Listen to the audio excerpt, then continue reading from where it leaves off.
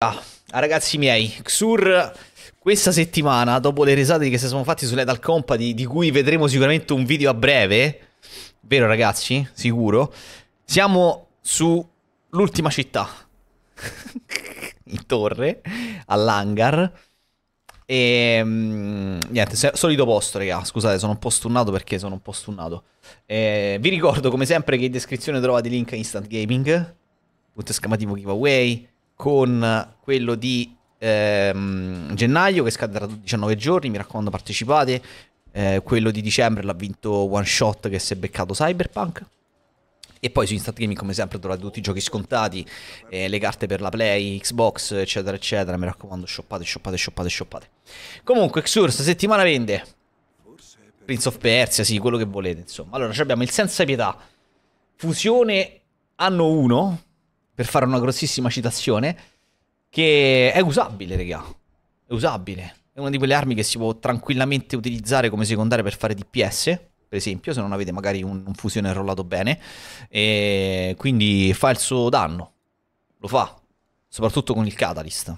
Quindi assolutamente da avere da provare se utilizzate, che ne so, per esempio, il lanciarazzi eh, leggendario, eccetera, eccetera. Mettete questo qui nello slot secondario e fate ancora più DPS.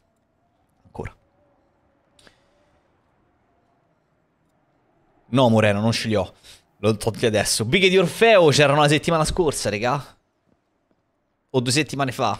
Comunque, bighe di Orfeo, vuoto, avete tre frecce con la, con la fareda di Mebius e trappola mortale vi ricarica la super fino al 50%, eccetera, eccetera. Insomma, lo sappiamo eh, già bene come funzionano. Il roll è un roll un po' così, quindi insomma non, non le metterei in cima alla lista di cose da comprare. Però è un'ottima esotica, soprattutto che ne so nell'ultimo GM del Cosmodolo, per esempio, è pieno di mob con le bighe d'Orfeo lanciate frecce a stecca. Per esempio. Gli M44, gli MK44 fate largo, spallata caricata è quello che vi dà praticamente lo scudo mentre fate la, spallate, la, la spallata.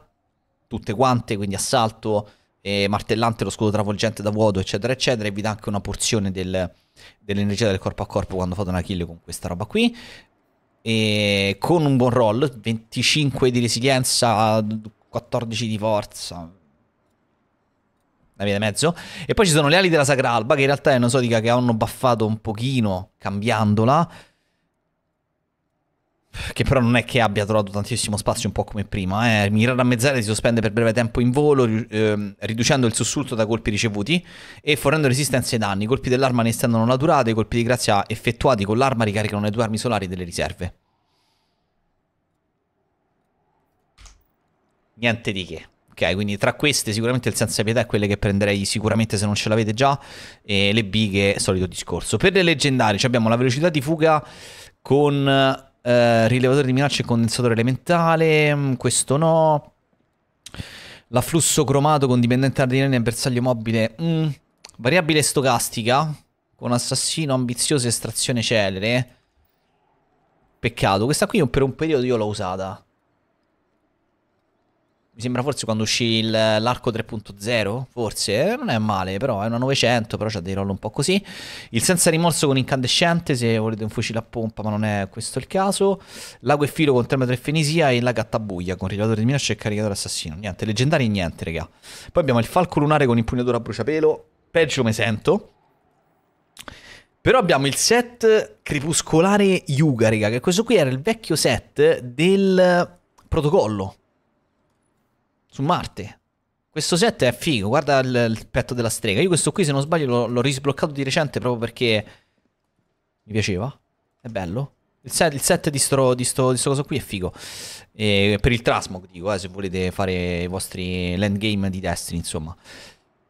Braccia sono con la strega. Queste sono le braccia con forza, mobilità e recupero. Le lascerei lì dove sono. Resilienza 20, intelletto 15, forza 10, me. Intelletto 30 addirittura sul casco.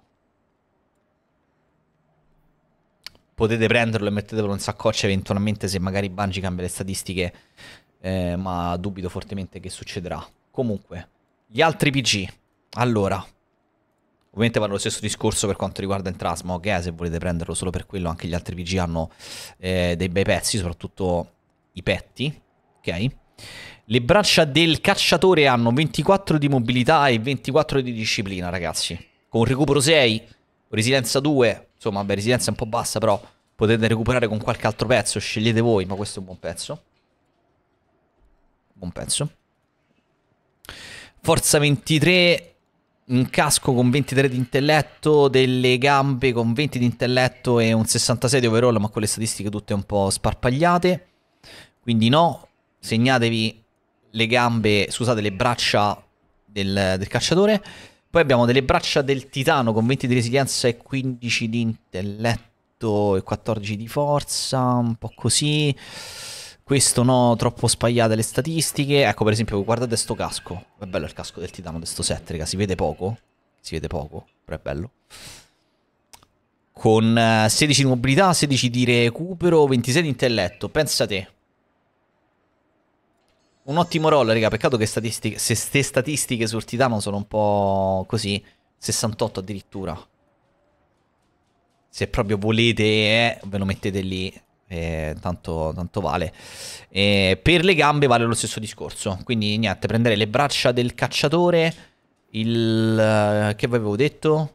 No, niente, solo quello. Questo se volete metterlo da parte con la strega, bighe di Orfeo senza pietà.